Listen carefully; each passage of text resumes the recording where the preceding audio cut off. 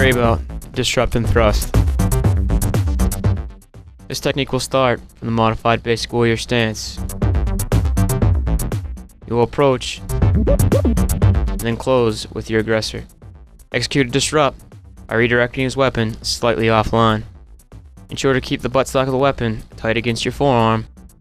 Execute a thrust at a vital target area.